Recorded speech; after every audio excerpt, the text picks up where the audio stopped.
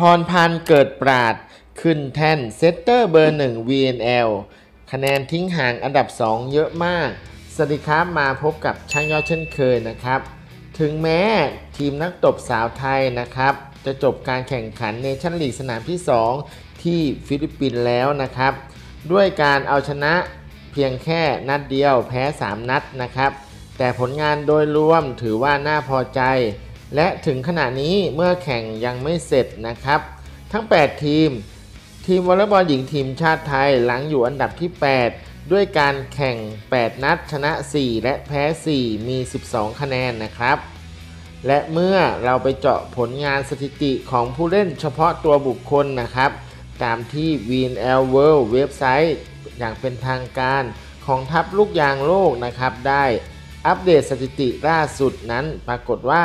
ชมพู่พรพรรณ เกิดปราชญ์ มีแต้มในสถิติ best setter ด้วยการทำแต้มมากที่สุดถึง 290 คะแนน ทิ้งห่างบิดโบอาร์ตมือเซตทีมชาติเนเธอร์แลนด์ มากถึง 67 คะแนนเลยทีเดียวนะครับ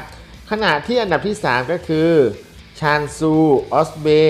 สาวเซตจากประเทศตุรกีนะครับ ซึ่งสำหรับการแข่งขันวอลเลย์บอลเนชั่นลีก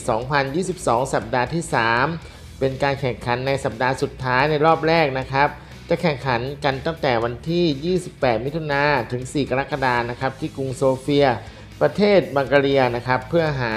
8 ทีมนะครับ เข้ารอบไปแข่งขันในรอบสุดท้าย ที่ประเทศตุรกีนะครับ สาวไทยนะครับ โปรแกรมแข่งขัน 4 นัดก็จะประเดิมกับ เกาหลีใต้นะครับในวันที่ 29 นะครับ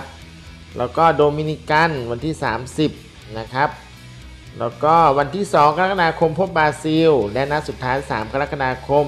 พบอิตาลีนะครับ ก็อย่าลืมให้กำลังใจพวกเธอด้วยนะครับ เพื่อที่จะเข้ารอบ 8 ทีมสุดท้ายให้ได้นะครับ เพื่อสร้างประวัติศาสตร์อีกครั้งหนึ่งนะครับ สำหรับคลิปนี้นะครับ ช่างยอดก็มีข่าวอัปเดตเพียงเท่านี้นะครับ รบกวนฝากกดติดตาม กด Subscribe กดกระดิ่งให้ช่างยอดด้วยนะครับ เพื่อที่จะไม่พลาดข่าวสารวอลเลย์บอลต่างๆที่ช่างยอดจะอัปเดตทุกวันนะครับ เดี๋ยวเจอกันใหม่คลิปหน้าสำหรับคลิปนี้ สวัสดีครับ